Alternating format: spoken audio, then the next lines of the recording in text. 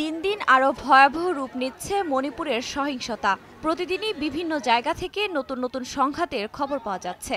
পরিস্থিতি নিয়ন্ত্রণে নিরাপত্তা বাহিনীর কোনো চেষ্টাই কাজে আসছে না। শুক্রবারও কারফিউ উপেক্ষা করে রাতভর বিভিন্ন স্থানে হামলা চালান আন্দোলনকারীরা। পাওয়া যায় গোলাগুলির খবরও। পরিস্থিতি নিয়ন্ত্রণে পুলিশ রাবার বুলেট ও কাদানে গ্যাস নিক্ষেপ করলে বেশ কয়েকজন বিক্ষোভকারী আহত হন। শুক্রবার স্থানীয় সময় রাতে একটি হাসপাতালের সামনে ভাঙচুর ও আগুন জ্বালিয়ে দেওয়ার চেষ্টা করে উত্তেজিত জনতা। মণিপুর বিশ্ববিদ্যালয়ের সামনেও আগুন দেওয়ার চেষ্টা করা হলে তা প্রতিহত করে পুলিশ।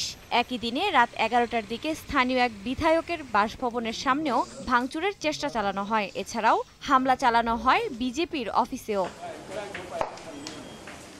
মণিপুরে দুই সম্প্রদায়ের মধ্যে সহিংসতায় গেল কয়েকদিন ধরেই রাজনৈতিক নেতাকর্মীদের টার্গেট করছেন আন্দোলনকারীরা। কেন্দ্রীয় মন্ত্রী ও বাণিজ্য মন্ত্রীর বাড়িতে আগুন দেওয়ার পর বিধায়কের বাসভবনের সামনে ভাঙচুরের চেষ্টায় পরিস্থিতি আরও উত্তপ্ত হয়ে উঠেছে। কেনাকাটায় একশো পার্সেন্ট পর্যন্ত ক্যাশব্যাক জিতে নিন বিএমডব্লিউ সহ হাজার হাজার পুরস্কার।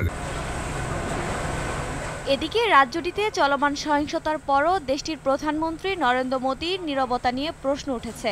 সামাজিক যোগাযোগ মাধ্যমে সন্ধান চাই লিখে পোস্ট ছড়িয়ে পড়েছে। সংঘাত বন্ধে সরকারের নেওয়া পদক্ষেপের নিন্দা জানাতেই এমন পোস্ট সামাজিক যোগাযোগ মাধ্যমে শেয়ার করেছেন সাধারণ মানুষ।